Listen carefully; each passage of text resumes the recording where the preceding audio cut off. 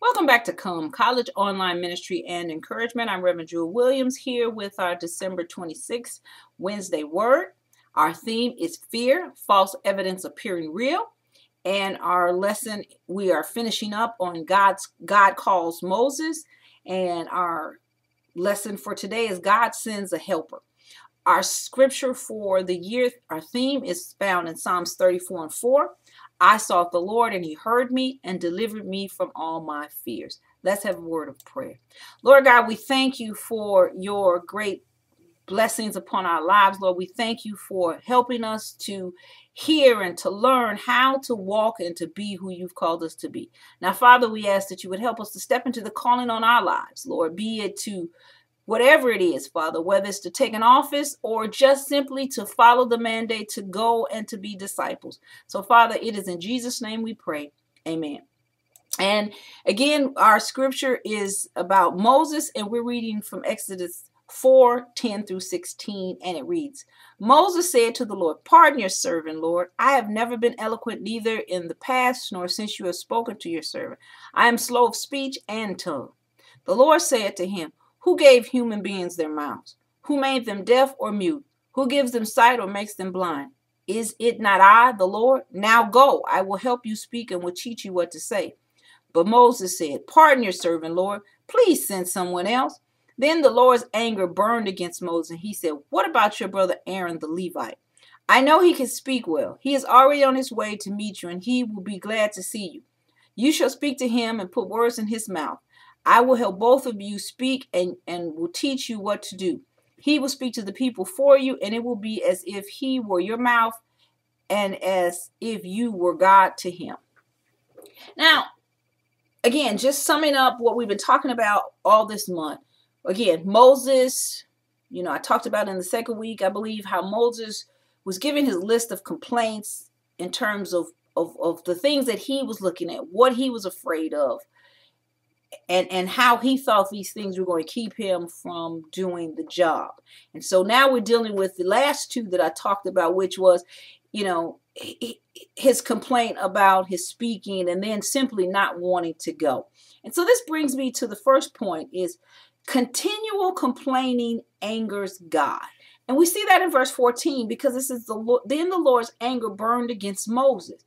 When we become complainers, and stay in that place. It's one thing to be upset about something. It's one thing to to look at something and think you can't do it. But when you stay in that spirit of complaining and complaining and complaining, we set ourselves up for really angering God because we then are stepping into the plate of disobedience. Because if God is telling you to do something, but you're giving him back and complaining, it's not a good place that you want to be. Think about it with your children. If you have kids, if you tell them to do something, but if they keep giving you lip and complain and complain and complain, that is not really what you do. You really simply are wanting them to do what you've told them to do. You want them to go and be obedient. And that's really what God is, is telling Moses go, go be obedient. Go do what I've told you to do and know that I will be with you. In verse 12, he says, Now go, I'll help you. And so he's constantly confirming to Moses that he will be the help that he needs. And this brings to me next point, which is God handles all our shortcomings. Because what God did, even though he was angry at what Moses is, because Moses continued complaining, he gave Moses some help. He was sending him someone that would help him overcome those things that were shortcoming for him. And in verse 15, he says that he'll speak to him and put his words in his mouth. He was going to be sending Aaron with him, and Aaron was going to become Moses' mouthpiece. He was going to be the one doing the speaking, if you would. And then our next point is God's Spirit is the one that speaks for God through us we simply allow him access. And you see in verse 16, he said, He will speak to the people for you, and it will be as if he were your mouth and if you were God to him. And, and this is what I want you to visualize. Moses felt that his speech wasn't good enough, that he just didn't have the ability.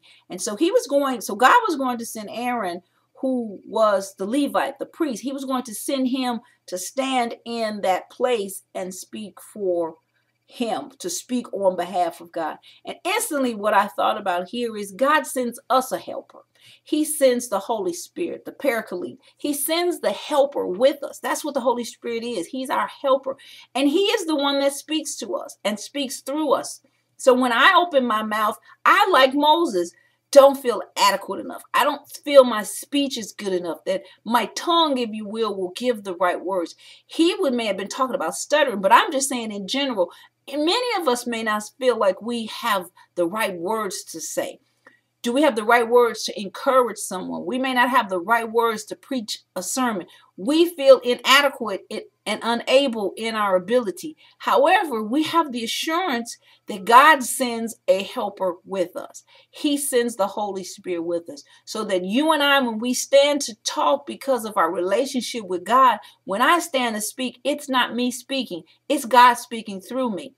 Same with you. When you get up to speak, it's not you speaking, it's God speaking through you. Of course, that's the connection that you have. If you've got that connection with God, then He will do that. And that then gives us the reassurance that we need that goes back to the starting of this month's lesson when we really were talking about Moses and his fear of God. And I want to tie all that back in again, you know, we can be afraid of being called into the presence of God and receiving those assignments that He had for our lives.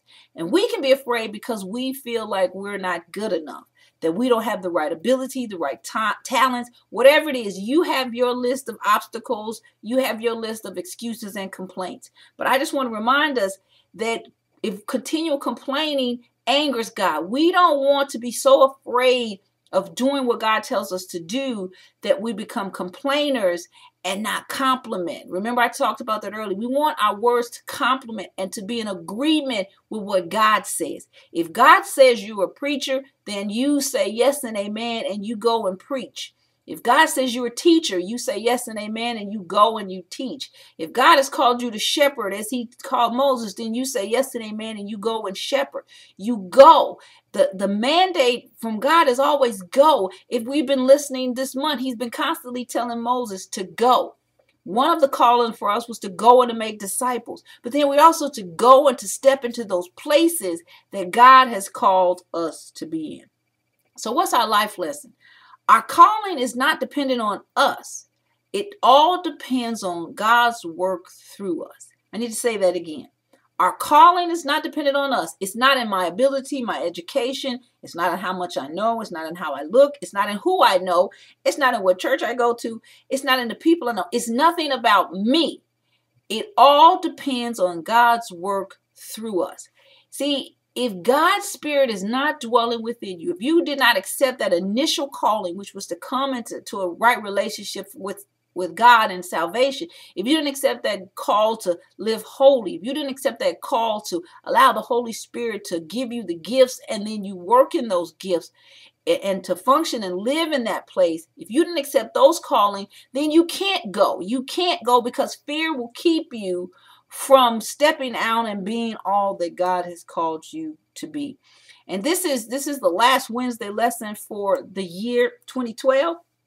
And my uh, hope for you is that you will really find true freedom, that God will allow you that you would allow God rather to work in you in such a way that you will begin to to seek a desire to do all that he's called you to do. That Psalm 34 and 4 says, I sought the Lord and he heard me and delivered me from all my fears. That's my prayer as you leave this year that every fear you have, you will lay it at the cross of Christ. You will lay it at his feet and you will step into the new year released and set free from those things that have hindered you from being who God has called you to be.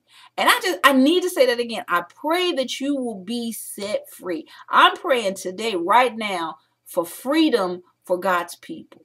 Freedom from drugs, freedom from things that hinder and keep you from being who He's called you to be. I'm running out of time, but I just want to say this final note.